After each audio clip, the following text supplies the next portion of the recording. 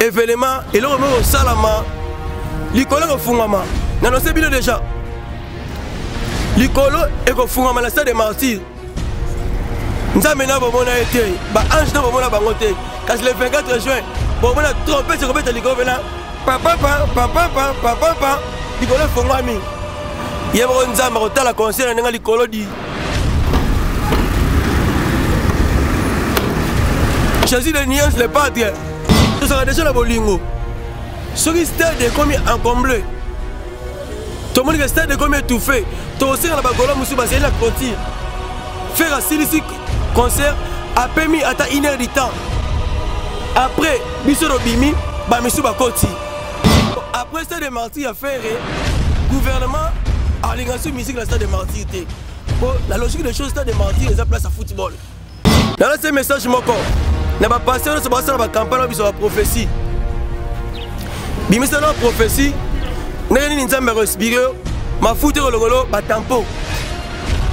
Na biso na police te. Totya mpe ba ba milage te.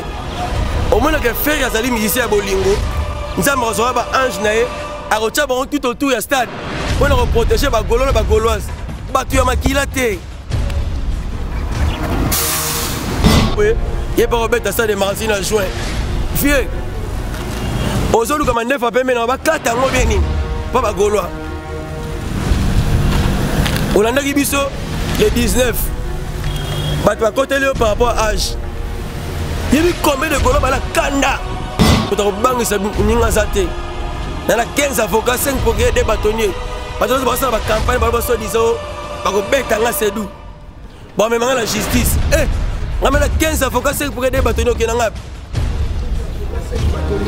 na babanga nani obangisaka leza nini oti siko lelo banda bakabwana boka bila binisaka batu wapi boka jedeki nini abili biso tofandi mpe tobini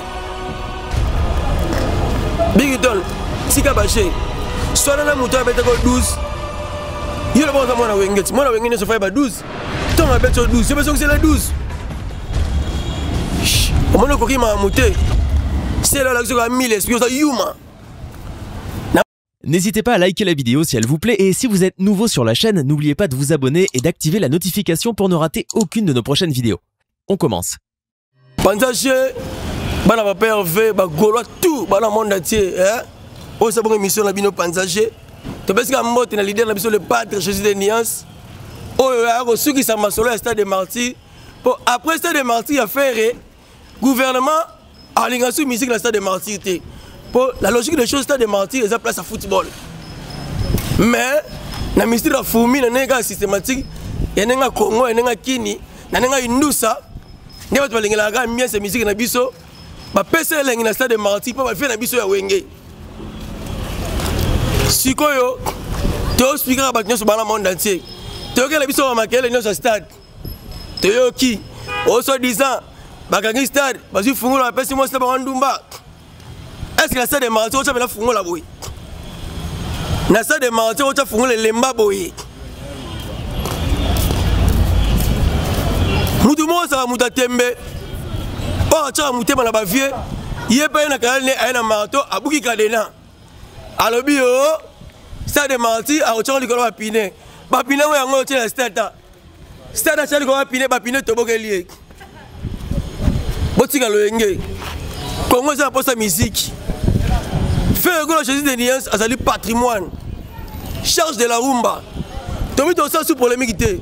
na bato nyonso basala su polémique oyo ya badernier fils oyo ya boye tosala su polémique wana te po feregola déjà akata mambo ya ba ki dernier fils tozwa tokabela motu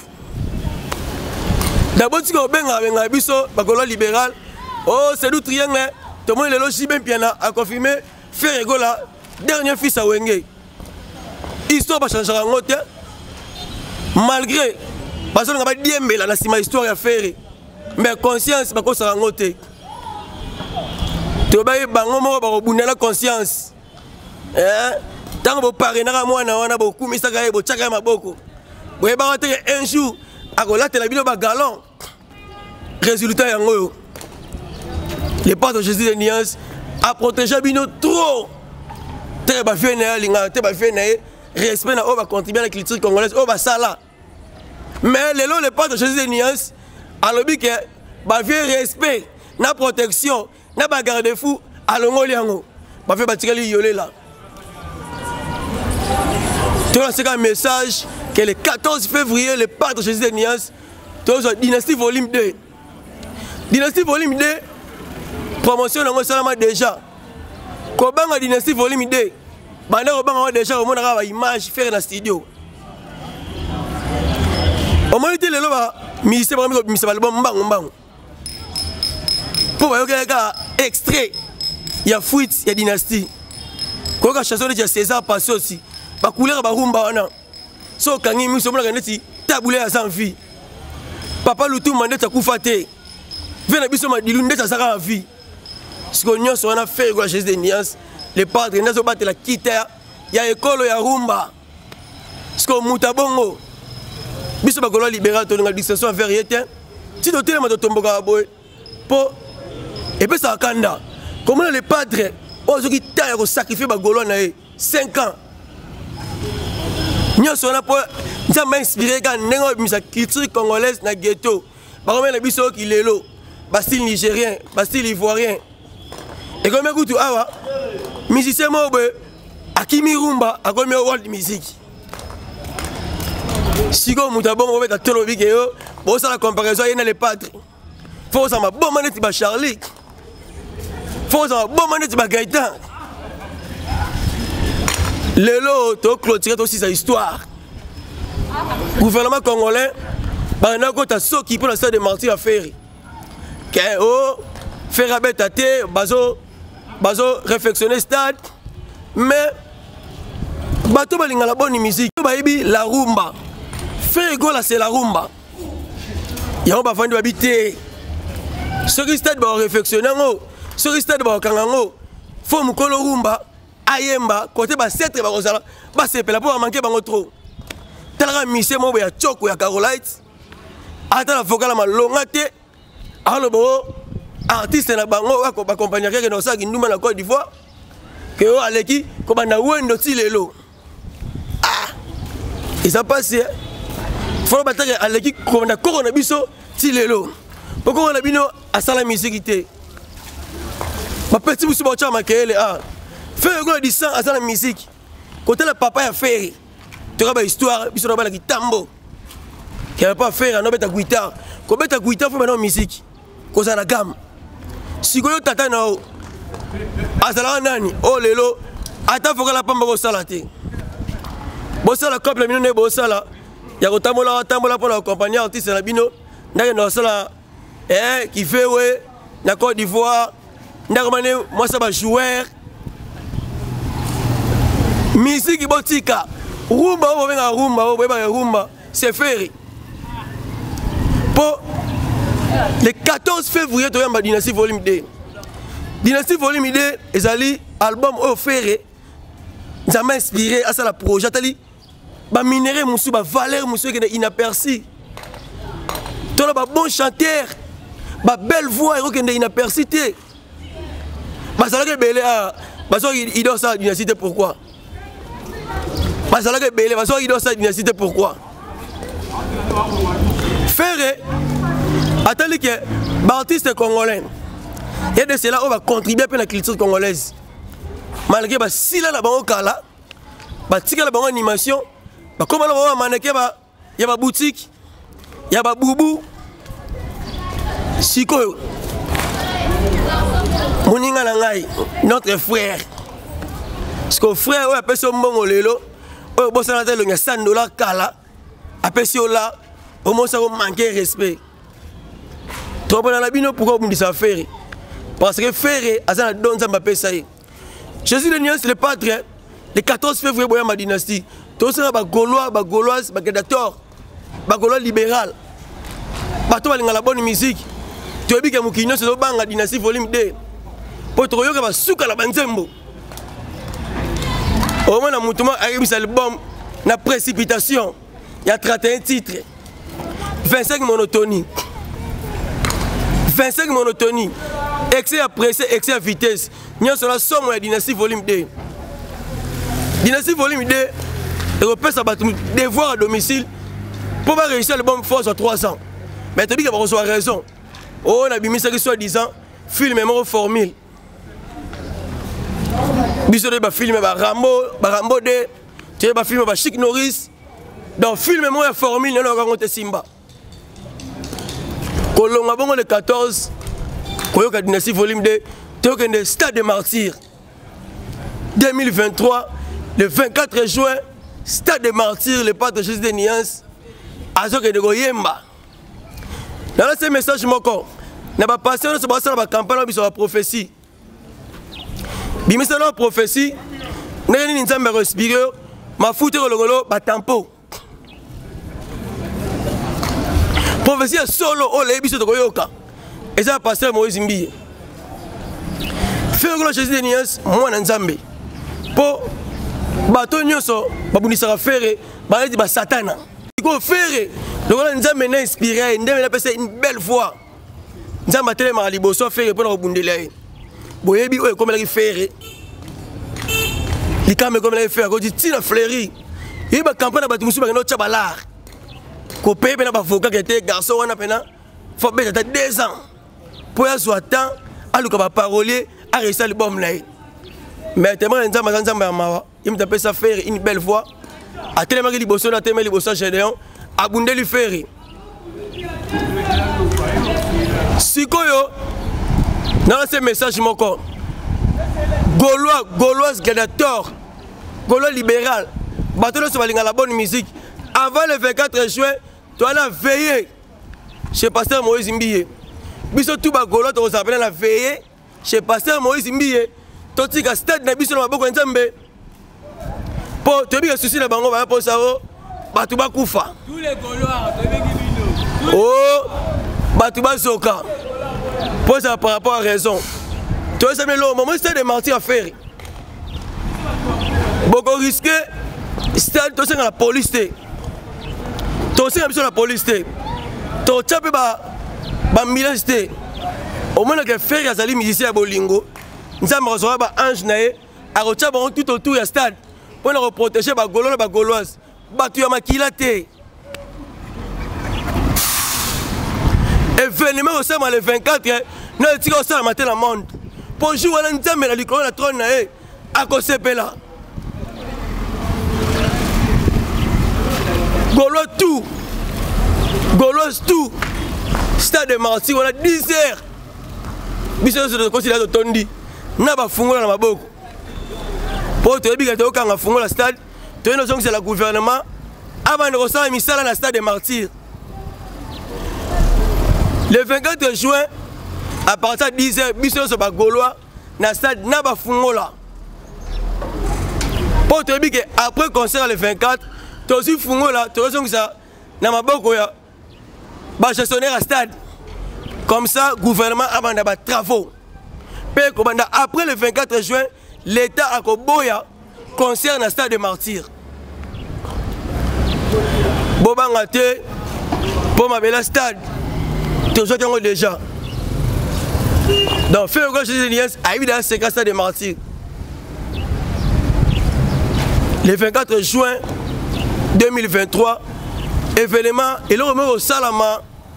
likolo ekofungama nanonse bino déjà likolo ekofungama na stade de martyr nzambe na bomona ye te baange na bomona bango te kasi le 24 juin bomona trompete ekobeta likolo mpena papapa papapa papapa likolo efongwami ye moko nzambe akotala conseil na ndenge likolo di jésus de nuance le patre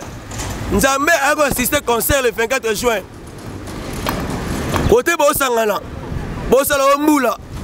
mbula na juin ezalaka te kote bosangana mpo na bakake bosangana bomona bakaki wana bele kobetela bapale na bino mpo nzambe ye moko akotema likolo mapata efungami na baange na ye atala conseil ya stade de martyr donc evenement wana ekosalama asu na mokili te bino omona une belle voix ya lepata jesus niance asengango te nzambe apesa pamba c'est une mission ezali mission la culture congolaise oyo oh, ezali eza fierté na biso eza fierté ya bacongolais malgré l'ignorance omoni ti tospikaka bino yemo mama champ kota neti franc congolais toyebi à l'époque bavie na biso wana balaka bavie na biso wa ngai nayema na peche oyo bavie bazala orgueille par rapport à la rumba par rapport à baprinte batya na rumba sikoyo feu glo jésus de nias son travail sa capacité sa qualité de chanter nde omoni bamikolo batalaki ekoboya feraima na franc congolais ezali carrément koboya culture congolaise la continuité culture congolaise lelo bavie batika mokili kote bazalaka bazalaka na kimia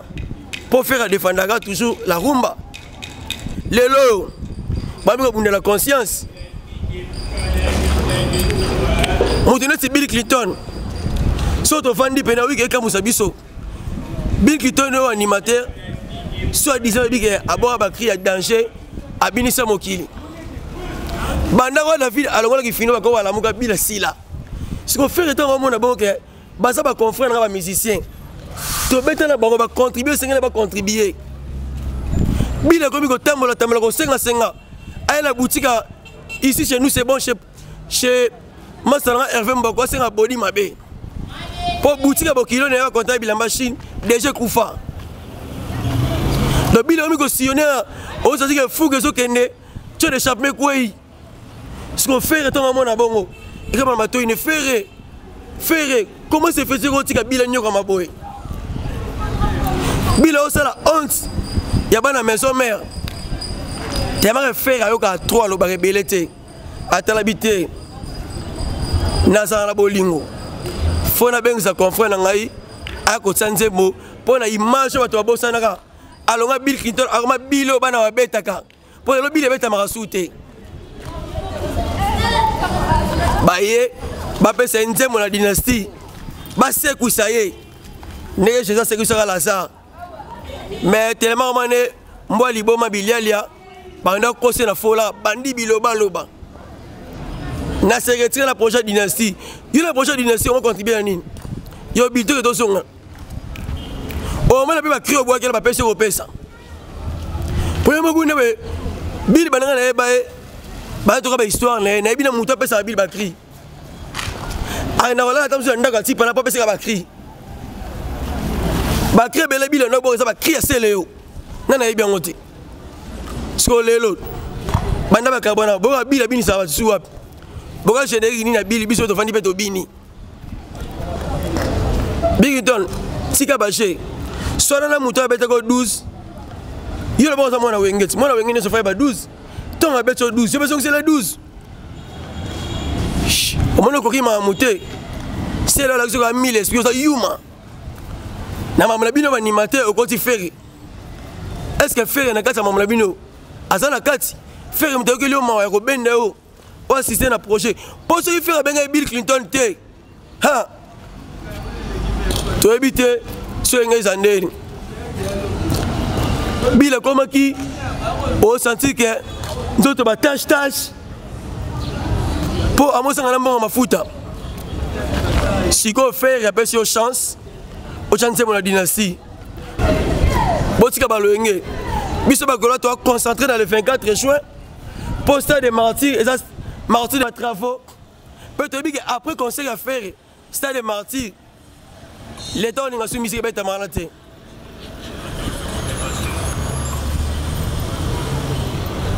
tozala wana l'indépendance ekosala biso bie stade de martyr koma martyr ya développement mpo makili esopa na stade de martyr après stade de martyr ya ferre je vous rassure natye sexe na ngai nje bokata ngai soki biso stade de martyr wana gouvernement kangi yango te bakokata ngai sexe natye sexe na ngai nje mpo le 24 juin tokopesa bino liboso qualité musique parce que la qualité de la bonne musique eza pas faire le plein bobosana bobosana faire ana baqualité tout omoni baqualité madame cornelia azala nango ana qualité basi oyo ya poto ana qualité basi oyo baforce kinshasa ana ba qualité tout nde siko fere ana ba qualité nyonso wana eloba fe nanga arthur mongo le transfert le plus cher london paris naamona bongo ya loboko mbenga na kati ya londres eh, pole grand maison l'homme de dynastie nayebi ke nzembo ya fe nanga pole grand maison ezobangisa bato mpo taka fere asakela ya insuline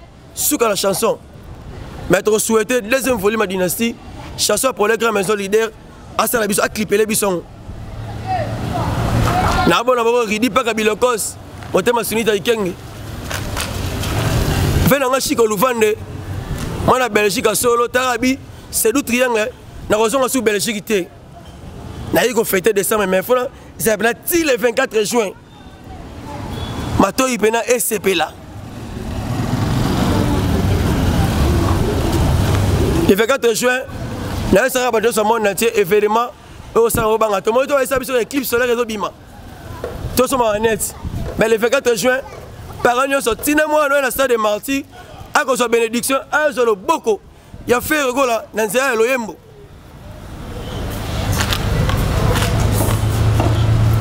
baoyo tofulaka basila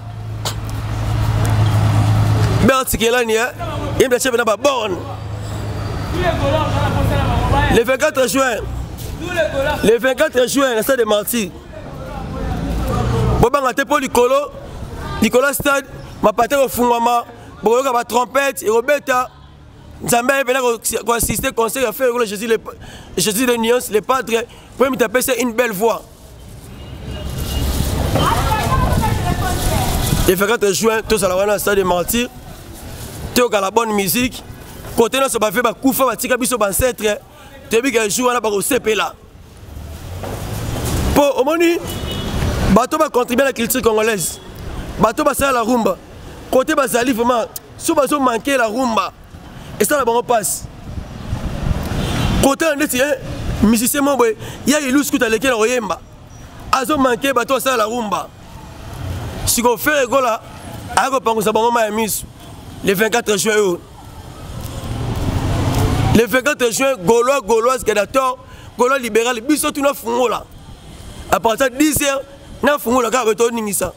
mpo après wana tozwi fungola stade topesi l'état congolais abanda batravaux mpe toyebi ke après conseil ya ferre stade de martyr leta oninga soki misiki ebetamaka na te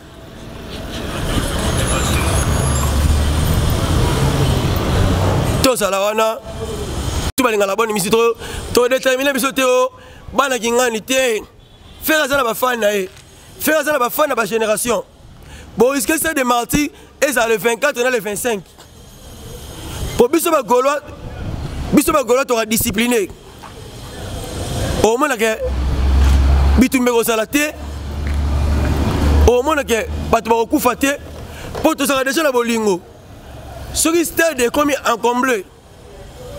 tomoni ke stade ekomi étouffé tokosenga na bagolo mosusu bazali na clôture faire asilisi concert apemi ata une heure du temps après biso tobimi bamisusu bakoti événement oyo etikala kosalama te na mokili bomona stade ntongo sadi otika bablage bato nyonso baosala bacampagne toyebi bino bato tu baosala bacampagne contre ferre toyebi bino mpo boyina fere mpo nzambe apesa bino don oyo apesa fere te nayoki yo fie mowe ye mpe kobeta sa de marsi na juin fie ozoluka mandefa pembe na bakata yango bie nini mpo bagolois olandaki biso le 19 bato bakoteli yo par rapport à age yebi combien de golo bala kanda ya retour ya fere efala ozwa présentation libome libanda ya palais du peuple le 19 sikoyo pota wana esila nanu te yo lobi okobeta stade ya juin kalangu ya juin eza monene mais soki coïncide kaka oyo tie date le 20 le 21 le 23 vieux kikarateka toyeba yango moni mandefu apema ya tokata yango oblake eza te blake eza te ata bino bosoutenir fere te fere aza na bafani nde bosoutenir ye omona oh, bancetre le 24 juin mabe ezali tant tosona bino directement na mwa l'océan le 24 juin gaulois tout gauloise gladiator moto alinga la bonne musique toza na stade wana à partir 10 heures soki stade de marti etondi 12 heures tokosala bandeko bagolois bazala bolingo pour éviter fer yakoma na baproblème tozeli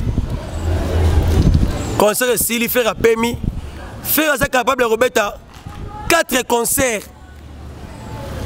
na bajour elandani mpo aza na souffle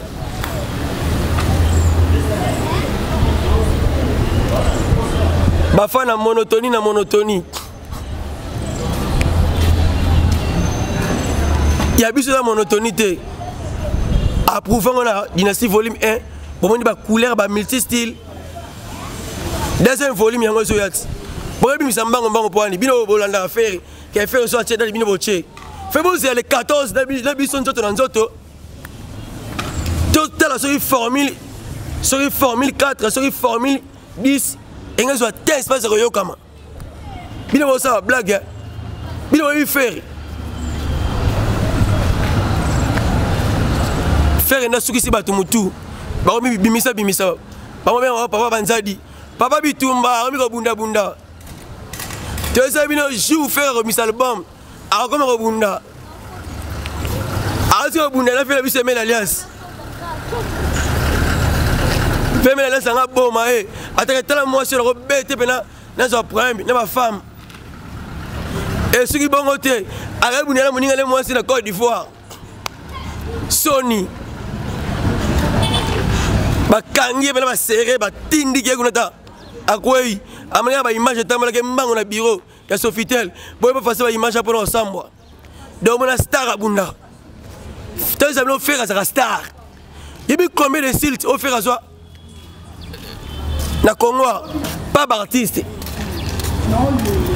pa bafane pa bachroniqueur oyo batikisa bona balar bafingaka fere mais fere telema aza star ayebi ja bastar nde etambolaka abetaka kara acolina me yuma wana mwana mwasi wana papa bilandalanda amani moto ya bitumba mpo miziki ya suka deja ekisa kowelisa moni fee ndako misi bino na suka tozala wana vraiment le, 4, le 24 juin 2023 na stade de marti nayebika bana poto bazo ebele bazo ebele boya boya boya mission nyonso bakosala mpo na kodestabilise conseil ya feri bayebake nzambe aza liboso ya feri le 24 juin bato balingaka boni miziki bato bazela stade bakosepela bozanga te kua to tosola bongo namona directement erike nzanzumba yai millionnaire na ngai ve na ngai l'homme idéal eh, ve na ngai james plus kenza dileteta ye so omoni ozwi solution fu malonda le déclara na bosani te bambote na yo delax biaku na kati ya londres bambote na yo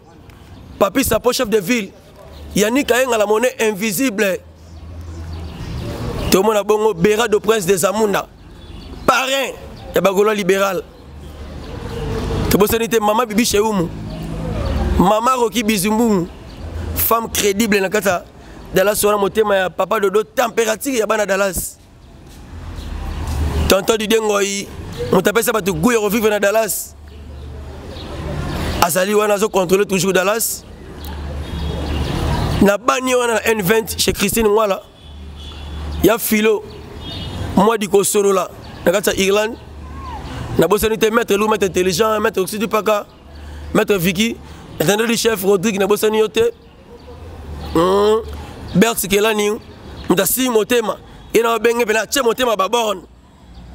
mpo moto akota te yango bato bazwi chimie baomi na trouble ya mitu bakosambwa tozala wana tosolola derrière la caméra namoni bongo lotis design aza wana napesi mbote na mama bebi mbuya bambote na yo jean-louis makabo le producteur bambote na yo velanga gaston jenda bambote na yo na jas na gpx kati ya londres tozalaka toujours soude scotche maître waza le suprême eh, kwenda futuka moto asisa biso complexe ya bana poto namona directement fez a schengen to na schengen na biso na kitambo na kimvula koyo ozwaka visa na biso na pe na kimia donc moto akobangisa ninga aza te na na 15 avocat 5 procureur de batonnier bato nyonso bakosala bacampagne balo basodisa o bakobeta nga sedu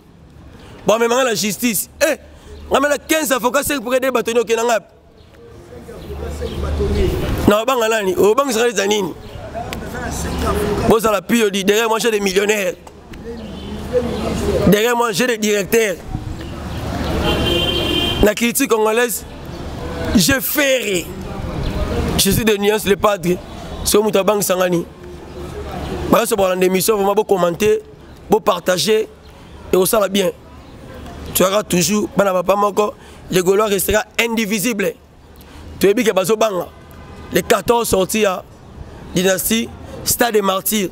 mpo kadena na bango yango oyo batyaki moto abuki ayetya stade bapine bapine toboki sikoyo tokosepelisa mokili